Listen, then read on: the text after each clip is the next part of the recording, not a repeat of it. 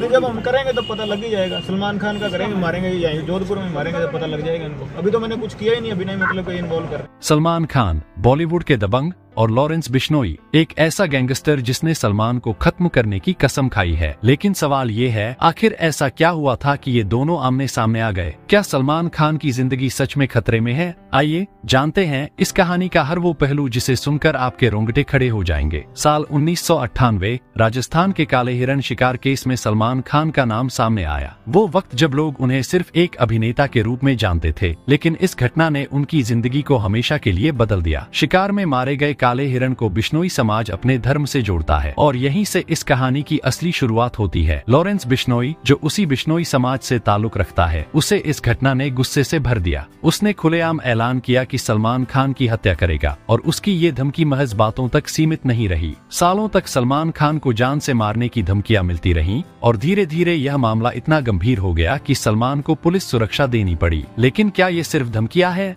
या लॉरेंस सच में सलमान को नुकसान पहुँचाने के करीब है? पुलिस ने कई बार लॉरेंस के गैंग से जुड़े लोगों को गिरफ़्तार किया, जिनके पास सलमान खान के ऊपर हमला करने की योजना थी। ये लड़ाई सिर्फ़ अदालतों में नहीं, सलमान की ज़िंदगी और मौत के बीच चल रही है। अब सबसे बड़ा मुद्दा ये है कि क्या सलमान खान कभी लॉरेंस बिश्नोई के इस खूनी इरादे से बाहर निकल पाएँगे, या ये संघर्ष अभी जारी रहेगी? जवाब जानने के लिए हमसे जुड़े रहिए और इस कहानी के अगले पहलू को देखना न भूलें।